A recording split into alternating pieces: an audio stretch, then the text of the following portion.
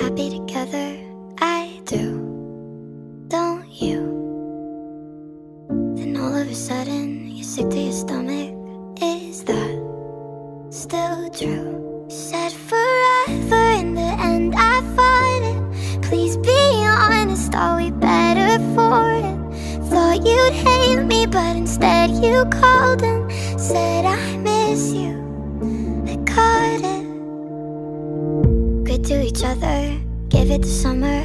I knew you too.